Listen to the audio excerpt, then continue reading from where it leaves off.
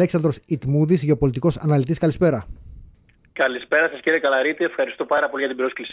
Λοιπόν, με αφορμή την, ε, με αφορμή την σύνοδο που έγινε στην ε, Σαουδική Αραβία, ε, Αραβικός Σύνδεσμος, ε, Ισλαμική Διάσκεψη κλπ. Έχουμε τους δύο βασικούς ανταγωνιστές, ε, Σαουδική Αραβία και Ιράν, να βρίσκονται και να συμφωνούν για το θέμα του Ισραήλ. Ο δομικός ανταγωνισμός όμως μεταξύ τους παραμένει προφανώς, έτσι.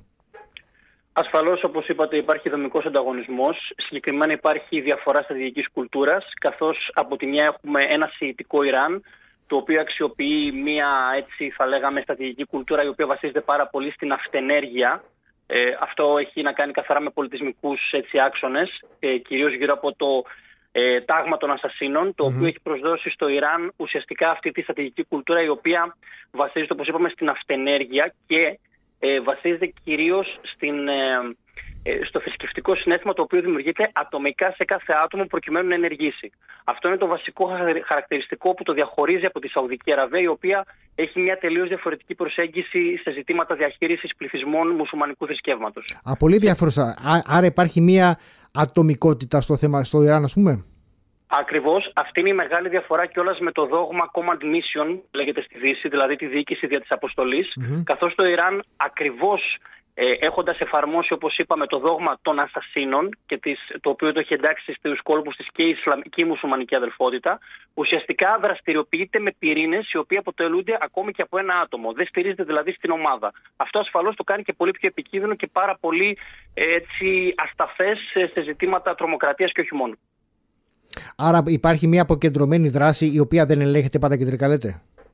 Ακριβώς αυτό και ας μην ξεχνάμε ότι προημερών ο ίδιος ο Ιρανός ε, Υπουργός ε, στην επίσκεψη που, που του έκανε ο Ιρακινός Πρωθυπουργός και του ζήτησε ουσιαστικά τη συνδρομή του για να μην υπάρξει ένταση μεταξύ Αμερικανικών δυνάμεων και Σιητικών πολιταφυλακών στο Ιράκ, ο ίδιος αρνήθηκε ότι το Ιράν ελέγχει αυτούς τους πυρήνες. Ουσιαστικά βλέπουμε από τη μια την εφαρμογή της τακίγια, η οποία ουσιαστικά συνίσταται στην άρνηση του πιστού να παραδεχτεί ότι ενεργεί υπέρ του Ισλάμ. Και σε ένα δεύτερο ρόλο, ουσιαστικά το Ιράν ένυψε τα σχήρα του, γιατί ουσιαστικά ακολουθεί αυτή τη στρατηγική, η οποία λέει ότι ο κάθε πιστός ακολουθεί την, το δόγμα της αυτενέργειας. Βολικό αυτό, γιατί είναι μισές αλήθειες και τα δύο, έτσι. Ασφαλώς και αυτό είναι το οποίο θα πρέπει να έχουν πάρα πολύ σοβαρά υπόψη τους οι ηθήνοντες στρατηγικής ε, στη Δύση, διότι πολύ απλά το Ιράν, όπως και η Τουρκία, για να μπορέσεις να τα ερμηνεύσεις, θα πρέπει να ξέρεις τον αξιακό τους κώδικα. Επομένως, το Ιράν είναι σίγουρο ότι θα εργαλειοποιήσει αυτό ακριβώς το δόγμα και εκεί ακριβώς έγκυται και ο μεγάλος κίνδυνος για την Ευρώπη, δεδομένης και της ύπαρξης μεγάλων ε, Ισλαμικών πυρήνων στους κόλπους της.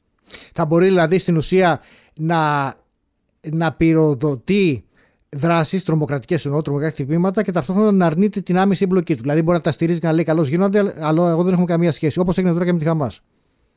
Ακριβώς αυτό. Ε, και εκεί ουσιαστικά έρχεται και η μεγάλη κόντρα με τη Σαουδική Αραβία και τα υπόλοιπα κράτη του κόλπου. Ε, οι μοναρχίες του κόλπου, ακριβώς επειδή είναι μοναρχίες, δεν θέλουν ουσιαστικά να υπάρξει αυτή η λαϊκή, θα λέγαμε, διάχυση του ακραίου Ισλαμισμού. Mm.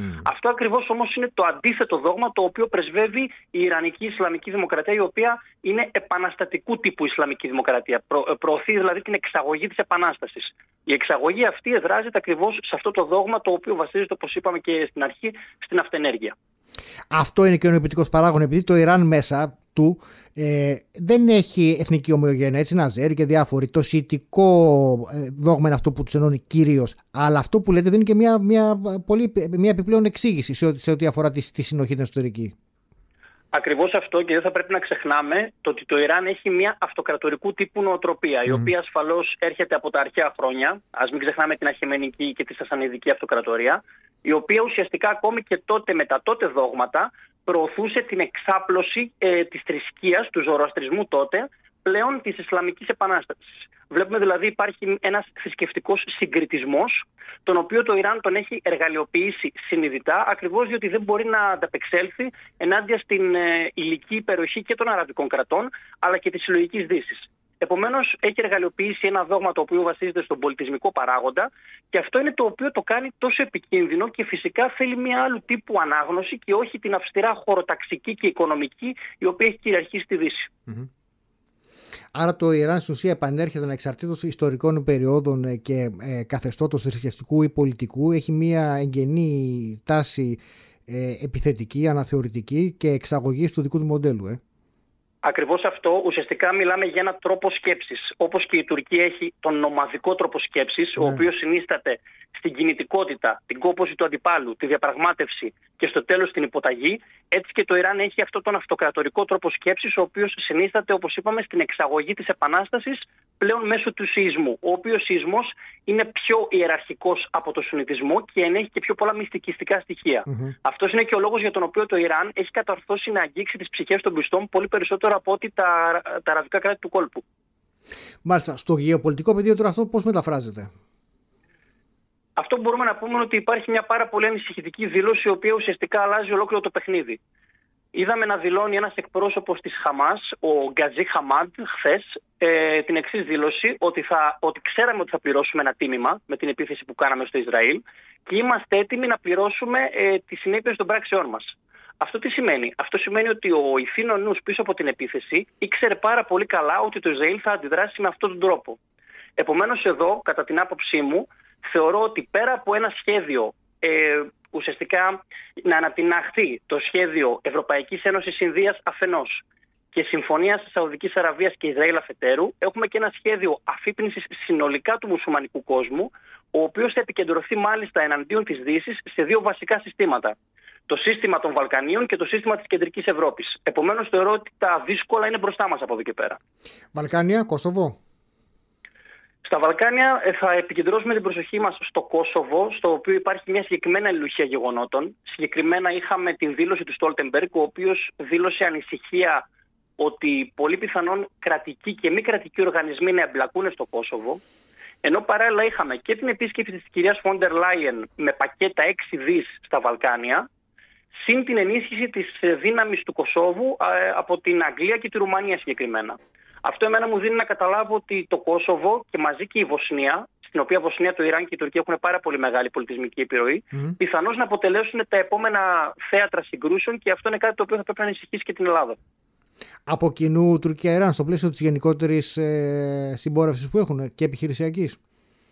Θα σας πω πολύ απλά ότι στη Βοσνία το 38% του πληθυσμού των μουσουλμάνων, το οποίο έχει κάνει Ισλαμικές σπουδές στο εξωτερικό, μιλάει την τουρκική γλώσσα, ενώ η Τουρκία έχει κάνει πάρα πολλά έργα και σε τζαμιά και σε έργα υποδομής και γενικότερα σε σχολεία και σε πανεπιστήμια. Συγκεκριμένα η Τουρκία ελέγχει γύρω στα 160 τζαμιά, τα οποία χρηματοδοτούνται από το Diyanet Foundation της Τουρκίας, ενώ και το Ιράν διαθέτει και κολέγιο και Ινστιτούτο ε, Ισλαμικών και Περσικών Σπουδών. Επομένως, βλέπουμε ότι αυτοί οι δύο δρόντες πιθανώς να έρθουν σε κάποια συνέργεια. Α μην ξεχνάμε ότι 28 Νοέμβρη ο κύριος Ερντογάν θα συναντηθεί με τον Ραΐσι του, ε, του Ιράν. Επομένως, είναι πολύ πιθανό οι δύο χώρες να έρθουν σε μια συνέργεια προκειμένου να αναστατώσουν και αυτή την περιοχή των Βαλκανίων, φυσικά. Κεντρική Ευρώπη; Στην Κεντρική Ευρώπη έχουμε μια πάρα πολύ ανησυχητική δήλωση από τις γαλλικές μυστικές υπηρεσίες, οι οποίες διατείνονται πως η Τουρκία από κοινού με τη Ρωσία και την Κίνα έχουν κάνει πάρα πολλές συνέργειες στο γαλλικό έδαφος και μάλιστα η Τουρκία επιχειρεί μέσω του θρησκευτικού συναισθήματος να προσετεριστεί τους μουσουλμάνους της Γαλλίας. Α μην ξεχνάμε ότι προχθές, αν θυμάμαι καλά, ο κύριος Μακρόν κάλεσε τους ε, δύο θρησκευτικούς ηγέτες από τα δύο δόγματα που έχουν στην Γαλλία, προκειμένου να έχει συζητήσει με αυτούς. Επομένως, θεωρώ ότι οι Γάλλοι ήδη φοβούνται για ενδεχόμενα χτυπήματα μέσα στο έδαφος τους, βέβαια. Γι' αυτό και η αποστασιοποίηση του Μακρόν από το Ισραήλ. Φοβάται το εσωτερικό και δεν πήγε, είδαμε ότι προχθές έκανε αίσθηση ότι δεν πήγε σε μία ε, διαδήλωση κατά του αντισημιτισμού. Ακριβώς. Ο κύριος Μακρόν έχει συνειδητοποιήσει πάρα πολύ καλά ότι ε, έχει εσωτερικά προβλήματα. Είναι κάτι που τον προβληματίζει πάρα πολύ. Και αυτός είναι και ο λόγος για τον οποίο βλέπουμε ότι η Γαλλία, όπως είπατε, είναι αποστασιοποιημένη και πιθανώς να αντιμετωπίσει ακόμη περισσότερες προκλήσεις στο μέλλον. Σίγουρα η κεντρική Ευρώπη αποτελεί το δεύτερο σύστημα το οποίο θα πρέπει να μας απασχολήσει για ενδεχόμενα χτυπήματα. Πάντως, η προσέγγιση του κατευνασμού μέχρι στιγμής δεν έχει αποδώσει. Κάνουν το λάθος να προσπαθούν να κατευνάσουν δυνάμεις τις οποίες θεωρούν και έτσι είναι ότι χειραγωγούν ε, τις, τους μουσουλμανικούς πληθυσμούς, τις μουσουλμανικές κοινότητες στην Ευρώπη, αλλά αυτό δεν έχει αποτέλεσμα. Αντιθέτως, οι άλλοι κάνουν τη δουλειά τους. Ενώ ότι ο κατευνασμός, από τη στιγμή που άλλος έχει ένα σχέδιο, ε, δεν πρόκειται να μεταπιστεί λόγω, του, λόγω της κατευναστικής πολιτικής. Αν θέλετε την άποψή μου, η Ευρώπη θα έπρεπε ήδη να έχει θορυβηθεί από τη στιγμή που ε, βγήκε στην επιφάνεια το σκάνδαλο με το χρηματισμό μελών του Ευρωκοινοβουλίου από το Κατάρ.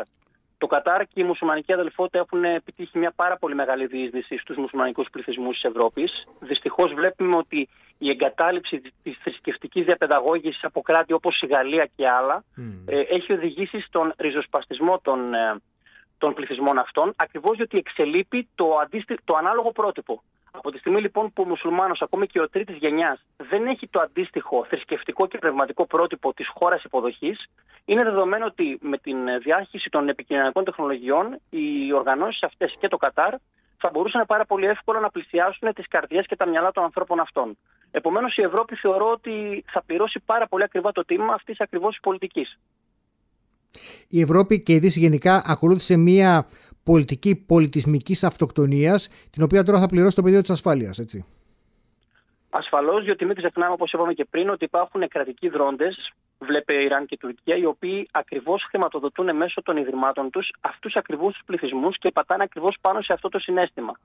Θεωρώ ότι η Ευρώπη, όπως είπατε και εσείς πάρα πολύ εύστοχα, ε, αυτοκτονικά ε, έχει αφήσει τον πολιτισμικό πυλώνα εκτός της ανάλυση της. Αυτό βλέπουμε να, αυτό βλέπουμε να επιτυγχάνεται και δυστυχώς ε, και μέσω της ε, κίνηση των Ευρωπαίων. Ε, ανέφερα πριν την κίνηση της Φόντερ Λάιεν να πάει στα Βαλκάνια με πακέτα πολλών δις. Μα αυτό δεν θα λύσει το πρόβλημα. Ασφαλώς και αυτά τα κράτη είναι αστάθη και θέλουν οικονομική ενίσχυση, αλλά ο Ευρωπαίος κάνει το λάθος να νομίζει ότι μόνο με τα χρήματα θα μπορέσει να λύσει ένα, μια κατάσταση η οποία έχει χρόνια η οποία γίνεται. Και ακριβώς επειδή δεν έχει την πολιτισμική ανάλυση, υποτιμά τον πολιτισμικό παράγοντα, την πολιτισμική παράμετρο, πολλές φορές αυτή η χρηματοδότηση στην ουσία ε, χρηματοδοτεί την ακραία, την ακραία έκφανση. Δηλαδή, νομίζω ότι με τα λεφτά θα γίνουν όλα καλά, τα λεφτά πάνε τελικά σε λάθος ε, τσέπη. Ακριβώς και αν μου επιτρέπετε, μπορώ να θέσω και ένα ζήτημα γεωστρατηγικής, το οποίο πιθανώς θα πρέπει να τεθεί στο τραπέζι, αν μη τι άλλο και από την ελληνική πλευρά, η οποία έχει πολύ καλές σχέσεις με τα κράτη του κόλπου. Θεωρώ λοιπόν ότι θα πρέπει να μπει στο παιχνίδι και η Σαουδική Αραβία με τα Ηνωμένα Αραβικά Εμμυράτα. Mm-hmm. Οι Ισλαμικοί πληθυσμοί αυτοί θα πρέπει να, ε, να επανεκπαιδευτούν με βάση το πρότυπο των αραβικών χωρών. Δηλαδή ακριβώς με, με την original εκδοχή του Ισλάμ. Mm. Αυτή τη στιγμή, όσο επιτρέπουμε την Τουρκία και το Ιράν να καπελώνουν εντός εισαγωγικών την εκπαίδευση και ειδικότερα τη θρησκευτική διαπαιδαγώγηση των Ισλαμικών πληθυσμών στην Ευρώπη, θεωρώ ότι θα έχουμε ένα πάρα πολύ μεγάλο πρόβλημα. Σε αυτό το σημείο δεν θα προσθέσω και την ε, ιδέα που έχει ε, διατυπώσει ο καθηγητής μου ο κύριος Μάζης, ο οποίος είχε δηλώσει μέσω του βιβλίου του για τα Ισλαμιστικά κινήματα ότι θα πρέπει να υπάρξει μια προώθηση του πνευματικού τζιχάντ και όχι του εξτρεμιστικού ένοπλου. Δηλαδή θα πρέπει να εκπαιδεύσουμε τους πληθυσμούς αυτούς έτσι ώστε να εσωτερικεύσουν και να πνευματοποιήσουν την έννοια του τζιχάντ. Αυτή τη στιγμή βλέπουμε την εξτρεμιστική έννοια του τζιχάντ. Και να πάμε σε θεολογικούς διαλόγους, δηλαδή αντί, αντί στα όπλα. Ακριβώς αυτό. Θα πρέπει να επενδύσουμε στον πυλώνα πολιτισμού, εάν θέλουμε ουσιαστικά να διασπάσουμε αυτό το πλέγμα που έχει στήσει το Ιράν μαζί με την Τουρκία και φυσικά με μεγάλο χρηματοδότη το Κατάρ, καθότι βλέπουμε ότι αυτές οι τρεις χώρες βρίσκονται σε μια συνέργεια ε, παρά το γεγονός ότι πρόκειται για Σουνίτες και Σιήτες. Αυτό που υποθέτει θα πρέπει και η Δύση να ανακτήσει το πολιτισμικό της περιεχόμενο. Δηλαδή τις ρίζες της Ελλάδα, Ρώμη, Χριστιανισμό. Δεν μπορεί από τη μία να έχει απεμπολίσει το δικό της πολιτισμικό περιεχόμενο και περίβλημα και από την άλλη να εισάγει πληθυσμούς που έχουν και τα δύο σκληρά. Δηλαδή και, και περίβλημα και περιεχόμενο σκληρό πολιτισμικό. Είναι, είναι σαν να βάζεις σε λίγο στο μαντρί. Ακριβώς αυτό θα πρέπει να υιοθετήσουμε ουσιαστικά αυτό που έχει πει και ο φίλος μου ο Δημήτρης Σταφακόπουλος. Θα πρέπει να, να διαβάζουμε πλέον την περιοχή της Μέσης Ανατολής με όρους εθνοπολιτισμικούς, ιστορικούς και με βάση αξιακούς κώδικες. Καλώς ή κακό η περιοχή αυτή δεν διαβάζεται με βάση τα, ειδικά, ε, τα δυτικά εγχειρίδια, τα οποία έχουν μια χωροταξική και οικονομικοκεντρική ε, ανάγνωση των πραγμάτων. Ευχαριστούμε πάρα πολύ. Ανανεώνουμε το ραντεβού για μέσα στη εβδομάδα. Ευχαριστούμε πάρα πολύ. Όποτε είστε διαθέσιμος. Ευχαριστούμε πάρα πολύ. Ευχαριστώ. Αλέξανδρος Ετμούδης, τον ευχαριστούμε πάρα πολύ.